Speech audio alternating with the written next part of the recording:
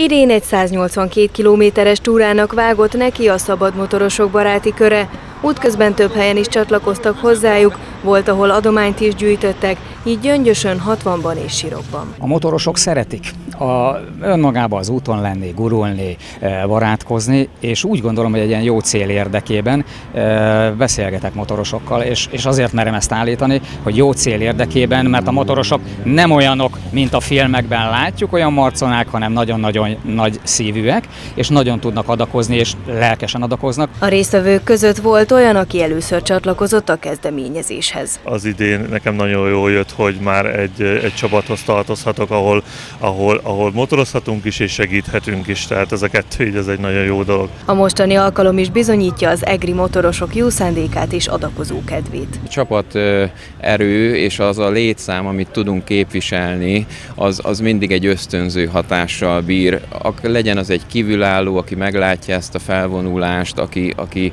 aki csak kíváncsiskodva nézi, és adott esetben nem is motoros, esetleg vágyakozik a motoros társadalom felé, és, és valahogy látja azt, hogy ha, ha ők úgy együtt vannak erővel, akkor, akkor sok mindent el tudnak érni. A túra Egerben ért véget, itt mindenkit melegétellel vártak a szabad motorosok, akik át is adták az éfolyésznak az összegyűjtött 170.800 forintot minden évben szoktunk szervezni a többi program mellett ilyen életminőségi javító kirándulást, illetve ismeretszerző kirándulást és nyaralást különböző programokkal megfűszerezve, és, és arra gondoltunk, hogy ezt mindig csak pályázati keretből tudjuk finanszírozni ezeknek a kirándulásoknak és nyaralásoknak egy részét, és ezzel próbáljuk pótolni most, hogy kevesebb önrészt kell akkor vállalni a, résztvevőknek. A klubházban elhangzott, hogy jövőre újra adománygyűjtést szerveznek.